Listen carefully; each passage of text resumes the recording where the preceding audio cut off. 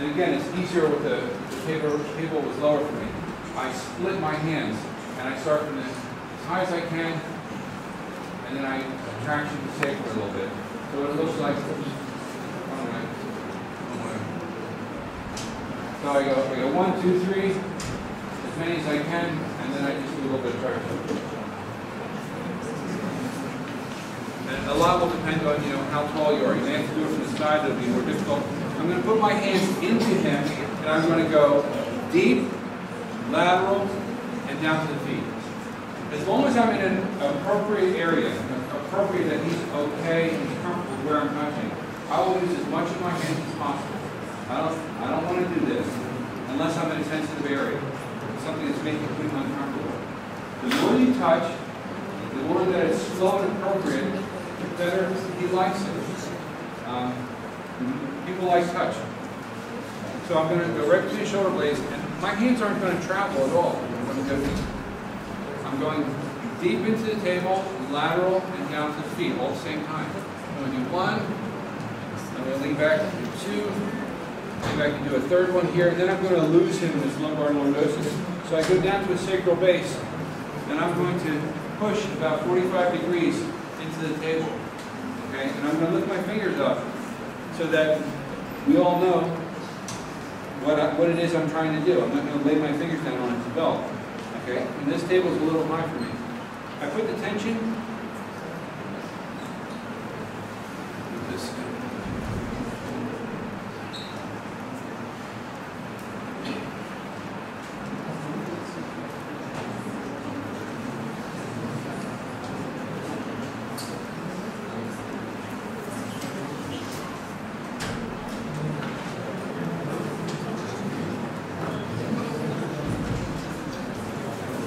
is that? Wait, so that's, okay. Um, okay, you can do this out there. Um, I- yeah, you can. Uh, Go down to a sacral base, once I have my hands in place, I'm not going on off with my hands. I'm just gonna move my head, and it makes my body move enough, so that my touch stays there, and he feels that decompression. For most, not all, but for most of your patients with severe herniations, you can do that, and it's, it's very, um, very comfortable. Very comfortable. Um, what do I have one? Back to one? Okay. I'm just trying to think of what things I can do. I'd like to do, um, I'd like to do one more thing. Uh, this technique, one more thing. Lay down, please. And then I want to switch and talk about uh, visceral. This is just a, uh, I came across this from one of my teachers. I don't know what to call it, so for me it fits into my natural. Steve is going to hold the phone, microphone for you. Do I have to, do I have to? Hello? Do I have to tip him when it's over? Okay, um, so a lot of the things that I learned in osteopathic uh, techniques, they were not in the classroom. You know, they weren't a course of this technique or that. It was working with people that have been treating people for 30 and 40 years. A lot of people that have put the time in, like Dr. Sammy, and I said, well, how do you treat, well, Dr. Sammy, I can't use you as an example because you're, you're in a school that's teaching. If I get Dr. Sammy, who is not dean of the school and teaching things and learning new things, and he was just out in the patient world, uh, and I said, what do you do for the low back? They just start to show me movements and tell me, do you feel this, Steve? Do you feel that? And I learned from a lot of people like that. And one of the things I learned was this. Uh, I'm going to stay on the same side of the spine. So here's the spine process, and if I feel a tight spasm in the erector spinae, I'm going to put my thumbs on the long belly of the muscle. Okay, this long part. I'm, gonna, I'm not going to hurt you. I'm going to, but if he had a spasm, it would be uncomfortable. It might be um, very uncomfortable. As long as I'm doing it methodically and sinking into him, he has the ability to tell me to stop. He has the ability to tell me to stop. So I'm going to go on both ends of the muscle belly, just off the sacral base and, you know, about six, six or seven centimeters above. I'm going to put my fingers straight down into him and bring them together. So I tent the skin.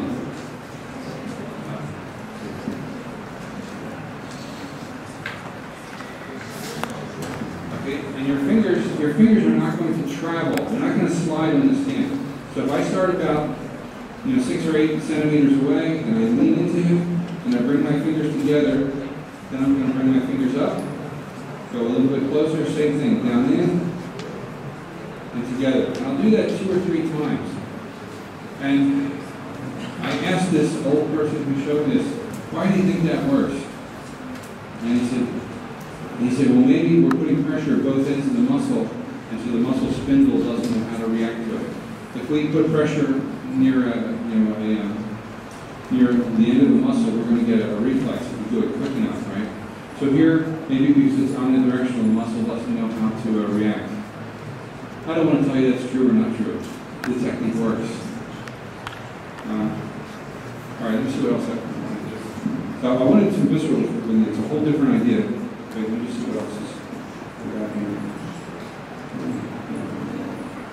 Okay, all right. Um, I'm done with you for a little while. Uh, let's, talk about visceral technique. So let me just put up a different presentation.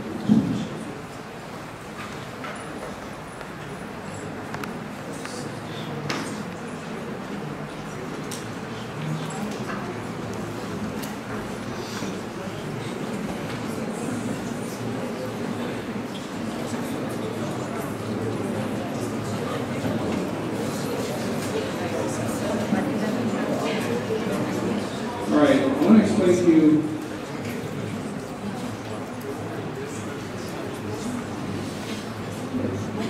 Been talking for a while, so just to relax, or you can here or there, wherever you want.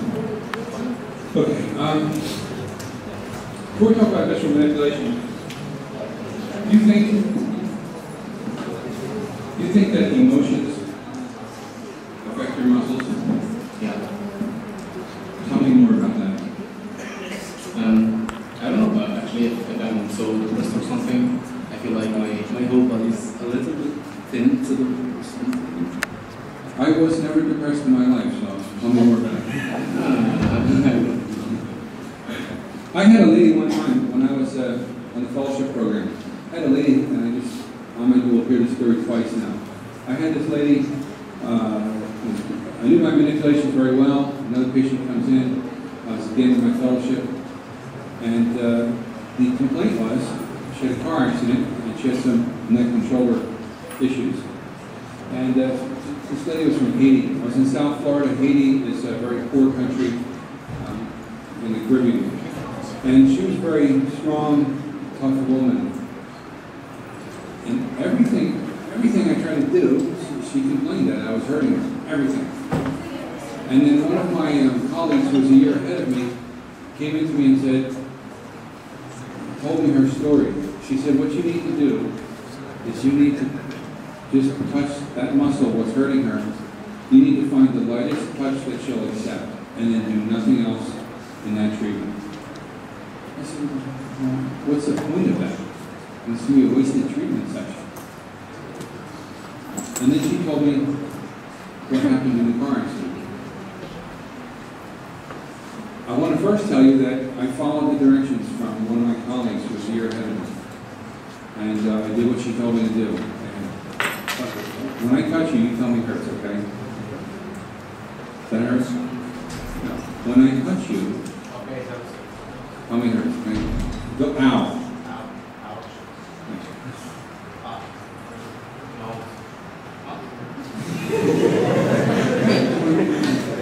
Does it hurt now? no, ah, That's good. Somewhere between here and here, there's something that's acceptable. And what I did was, I, I thought I was completely wasting my time. I put some hands on here, and I did nothing. And she was not improved. No- I didn't expect anything to change. Then when she came for treatment, uh, whenever it was, the next couple of days, when it came for follow-up, I was able to do treatment to her and resolve her problem. But what happened to her? Well, what happened to her? I was in school in Miami, a big city in South Florida, and uh, she is Haitian, Or there are eight of them in a van, and the van rolls.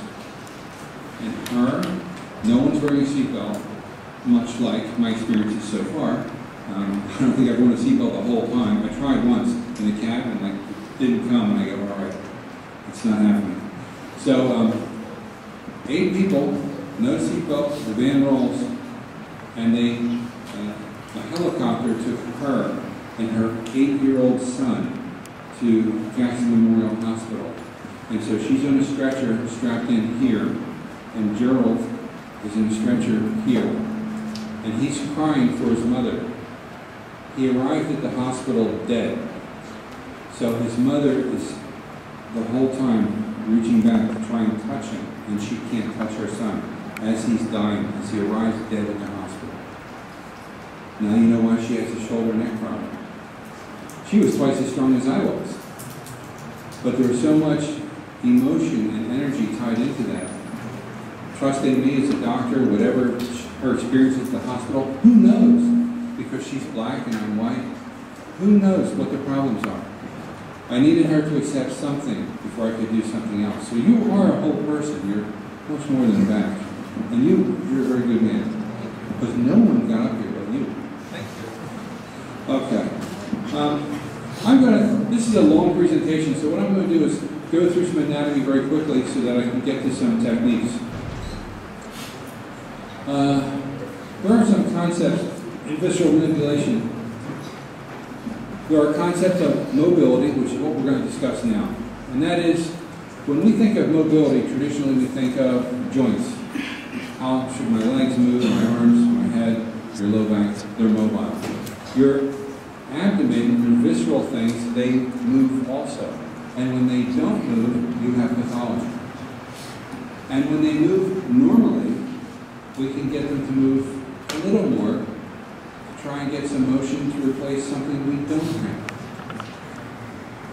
Uh, motility is, we're not going we won't talk about it. It's some sort of in, uh, inherent motion we believe that we feel in the organs, and it's a uh, more complicated concept than for this morning. Um, so I'm going to skip through the mobility stuff. But mo- mobility is what I want to talk about. What makes your, now, the topic is low back. So I'm going to look at abdomen, visceral mobility. What can I do to the abdomen to treat the low back? So if these things are supposed to move, what contributes to its motion? There's an intracavitary pressure. It changes as you breathe and out. There are articulations. What, what articulates in the abdomen? Lots of stuff. Lots of things. Things have to move. When things are moving that shouldn't, we have a problem. When things don't move that should, we have a problem. When you have surgery done to your belly and you get adhesions and a loop of bowel sticking to a loop of bowel, you get pain when you're eating. You go back to the surgeon, I'm getting this pain now, I had the surgery. Surgeon says, you're fine. What does you're fine mean? You're fine means I did this surgery to you, you recovered from it, and that part of you is okay. They're not, they're not equipped to do the musculoskeletal part of it. That doesn't, fascia doesn't mean anything to them. Um, a lot of reproductive problems. If you have surgeries down here, your fallopian tubes are not free to move around. These women become infertile. So things are supposed to move. There's a double layer system. You have a double layer system, peritoneum is about 60 cc's of fluid that lubricates it. You have a ligamentous system. Your organs are hanging so that they're not moving. Your liver is held very tightly uh, in place by right and left triangular ligaments. And uh, your intestines are held by the root of the mesentery, and then they're free to wobble around. The wobble has to happen. Why? Why do your intestines have to move around? What do they do? This is the first thing I think about. What's supposed to happen here? Peristalsis. In order for peristalsis, you need your intestines are supposed to move around. Your liver doesn't do that. If your liver flops around, it tears, you bleed out, you die. If your spleen flops around or enlarges, it fractures and you die. Uh, the intracavitary pressure can be changed by the amount of hydration and different uh, other medical conditions. If you have, you know, we call it being dry, if you're out of fluid or if you have ascites, you myxedema, these things affect how your guts move. Your mesenteric system and your omental system lubricates things. Your mesenteric system suspends things. I'm going to go a little fast. Uh, what types of things can restrict normal motion in the abdomen? Adhesions. How do you get adhesions, sir? Well, In your, stomach, how would you get adhesions? maybe massages or something. Surgery, that's one way. Very good. This is a bonus round. Uh, yeah. Infection, good. Injuries. Injuries, that's it. Three, that's it. That's it. Injury traumas. Okay, you can sustain an injury and recover. You can sustain an injury and something is sticking to something else you're not moving. And these are all very treatable. Um, sometimes just one treatment. Uh, these ligaments can be lax. They can not be as supportive as they should be. You can have visceral spasms. If you have a gallbladder that's irritated, you have a kidney that has a stone, it starts to irritate things by proximity. Um, starts to recruit other tissues. Skip mobility. Um, Okay, now we're just doing this in an hour and a half. Is not a visceral course. So I'm going to show you some techniques. And this is going to be my uh,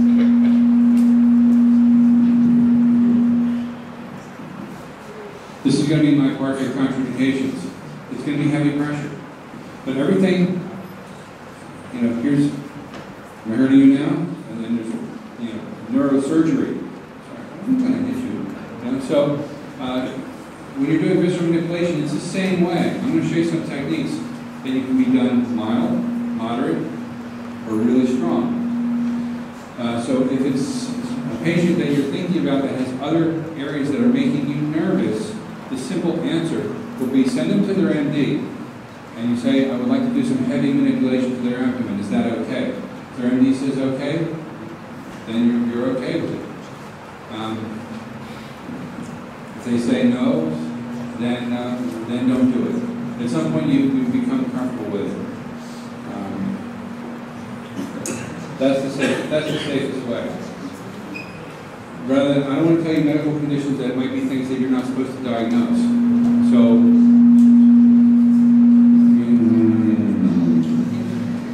We just turn down the sensitivity maybe a little bit. Okay, now it's not. Okay, so here's another way we're going to use it. Uh, let me back, back that up. We can decide to, why would we mani- manipulate the lower abdomen? I'm telling you that this will help a back problem. How can it help a back problem? Sir? And maybe good condition. Good relation, yes. Very good. Anything else? Collapse. Prolapse? All right, we're going in the wrong direction here. Um, you're not wrong, you're not wrong. What happens when you have a heart attack? What are the signs? We're all taught to recognize these signs. You have, does a patient say to you, I have angina? What, where, what kind of pain? What do they say? What's someone say? I had a heart attack and boy, I felt like, what do they say? I can't breathe. They feel like they have crushing chest pain, pressure. what else do they have? Where else do they have pain? Pressure. Pressure. Where, what else do they have? They may have left arm, we've all heard this, right? Left arm pain, jaw pain, neck pain. Uh, they may have indigestion. A lot of people I saw in the hospital, in the, ICU, I got called for feeling indigestion. I put a EKG on them, they were having a heart attack. What else? They get diaphoretic, they start to sweat.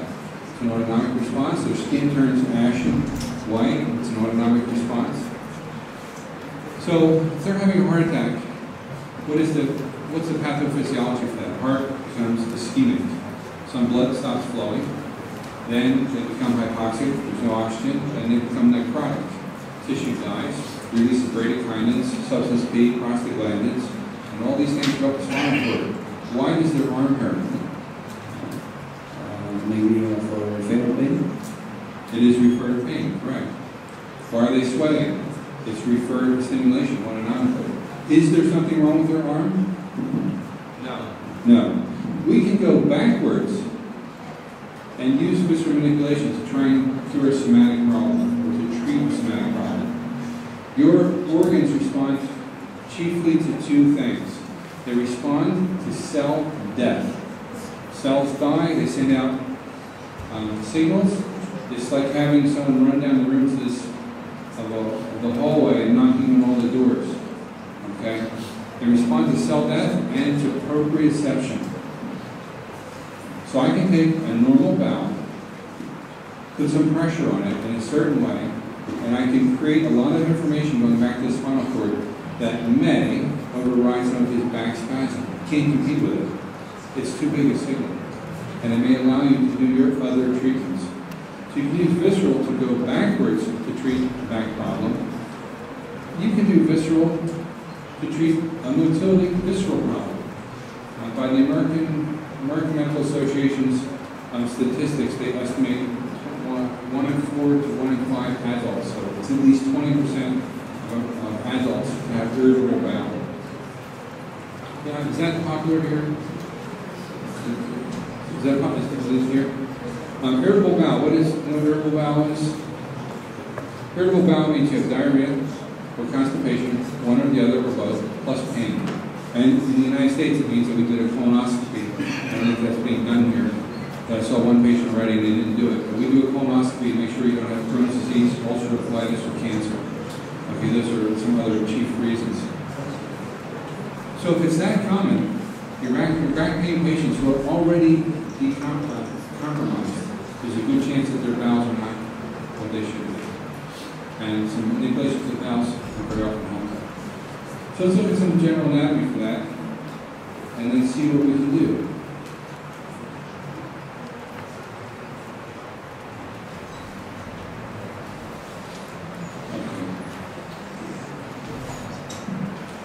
This is just showing uh, the large intestine here, liver, spleen. What you need to know from this picture is that there's no air in here. It's all stuff, and it all has to move against other stuff. So if we're going to be concerned mostly with um, low, we're going to be concerned mostly with low back, I'm just going to go right to some techniques you can do. And I've already told you, I don't do, I may do that technique a lot to people with low back pain, but I don't look at people go back and go, you're going to need to manipulate your cold insert. But I do it. It's very tolerable. Um, let's just look at the other general anatomy here. A bunch of little squiggles, small intestine, large intestine. It's fixed here in the cecum. It's fixed against the, the, the cervical wall. Here the um, Tonic flexure, splenic flexure, and it's fairly free until it goes down to the rectum.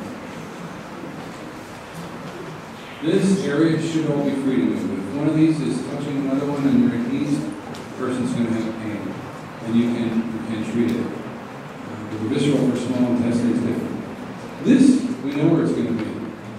What's right behind this here, On the other side. That's as close to the low back as you can get on the right side.